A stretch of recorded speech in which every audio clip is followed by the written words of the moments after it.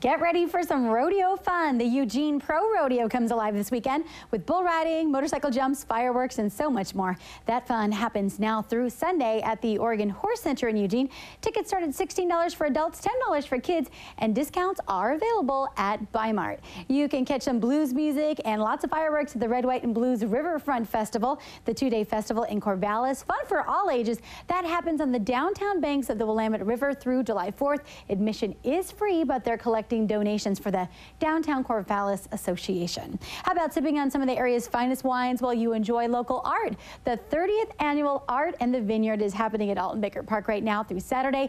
Admission is $7 for adults, $1 for kids, and a three-day pass is only $50. Proceeds benefit the Maude Kerns Art Center here in Eugene.